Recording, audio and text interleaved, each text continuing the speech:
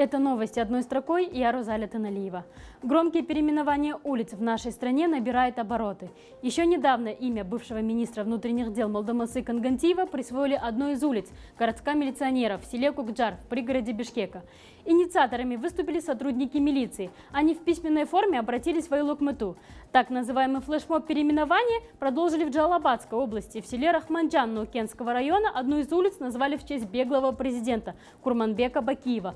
Но табличку с его именем тут же демонтировали, когда в соцсетях поднялась волна негодования.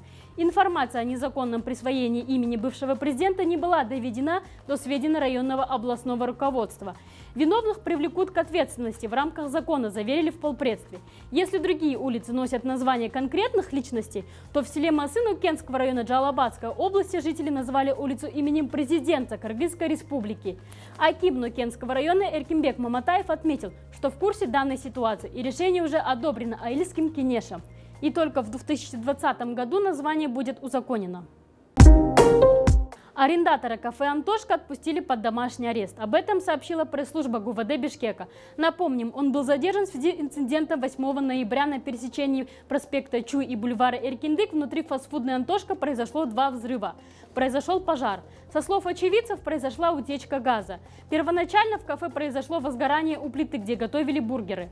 Сотрудники начали перепрыгивать через стойку и вместе с посетителями выбегать на улицу. Далее последовали три взрыва газовых баллонов. Так, по данным следствия, во время взрыва погибла сотрудница общепита. Ее тело нашли после того, как потушили пожар. Еще 12 человек пострадали, среди них семеро детей. На данный момент состояние двух пострадавших остается тяжелым. Премьер-министр страны Мухаммед Калы Аблгазиев поручил госорганам провести тщательное расследование причин пожара. Боливии протестующие в ходе антиправительственных демонстраций напали на мэра небольшого города Винта. Женщину облили красной краской, а затем отрезали ей волосы. Помимо этого митингующие подожгли городскую ратушу. Нападение произошло после того, как среди демонстрантов прошел слух о якобы гибели трех манифестантов во время конфликта с поправительственными активистами. Толпа ворвалась в ратушу и с криками «Убийца!» напала на женщину. Ее заставили подписать заявление об увольнении, а затем демонстранты разграбили и подожгли здание. Мэра доставили в больницу. В свою очередь президент Боливии Эва Моралес объявил о своей отставке. Это произошло после трех недель протестов оппозиции. В ночь с 10 на 11 ноября в Бишкек прилетела национальная сборная Японии по футболу. Об этом сообщила Федерация футбола Кыргызстана.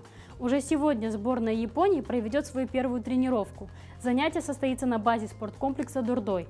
Игры в рамках отбора чемпионата мира и Азии запланированы на 14 ноября.